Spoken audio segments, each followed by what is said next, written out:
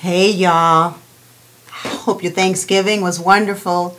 This is Karyn White, and I want to talk to you guys about the Soul Train Music Awards.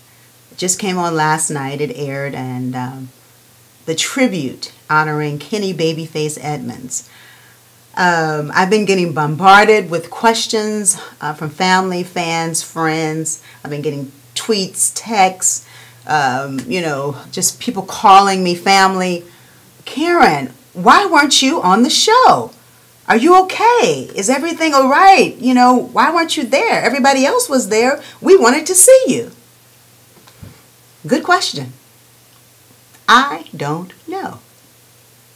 I never got a call from Face or BET or Centric or Soul Train Music Awards affiliate, affiliates, nobody. So I don't know. Maybe they don't know that I'm back in the entertainment industry. You know, it's been a few years now, and I've released on my own label my latest project, which is uh, Karyn White Sees the Day. So I am singing again. And um, matter of fact, I was just on a tour that we're, I'm actually on a tour where we, uh, we just played Hartford, Connecticut with Kathy Sledge Deniece Williams, CeCe Peniston, and myself called My Sisters and Me. So um, look for that coming to a city near you. And I just want you guys to know that I, you know, I thought Fantasia did an amazing job. Uh, she's a bad girl. she put it down, and I'm. It, it's you know has nothing to do with Fantasia. It's really just uh, respect and um, the fact that Kenny wrote the song in L.A. and Daryl Simmons, but Karyn White made it a hit.